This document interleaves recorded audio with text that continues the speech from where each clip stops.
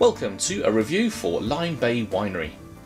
Now, lymebaywinery.co.uk is a small, dedicated West Country company passionate about producing delicious and award-winning English wines, fruit wines, ciders, meads and liqueurs from their home in Devon's beautiful Axe Valley.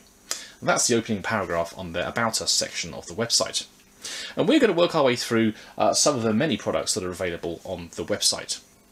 Today is the turn of this elderflower wine that's been kindly provided for review by Lyme Bay Winery.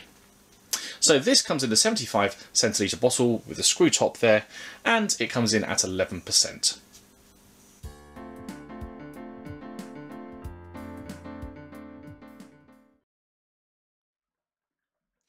Okay, so now let's see what aromas we can detect from this elderflower wine. Now, this one currently retails at £9.25 on the website. As I say, 11%, quite a dry one as well. So on the nose there, very, very floral and uh, almost citrusy. There's uh, hints of pineapple and, uh, and mango there as well. That's quite intriguing. Okay, let's go in for the taste.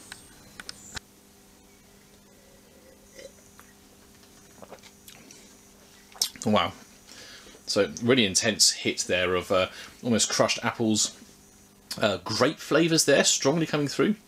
Um, that pineapple doesn't come through so much on the flavour there, but certainly um, there is a sort of lingering, almost watermelon type flavour.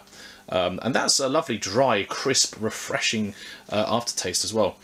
That's very nice. Now, tasting, of course, is incredibly subjective. So the best way for you to find out these flavours and aromas is to grab a bottle yourselves and share in the comments your thoughts about what you've detected from this elderflower wine. So, in summary then, this is a really refreshing elderflower wine full of complexity. It's very light, so it would be ideal for something such as um, a buffet or something seafood based, maybe even pizza, or even by itself on a hot spring or summer's evening. Let's hope we get plenty of those.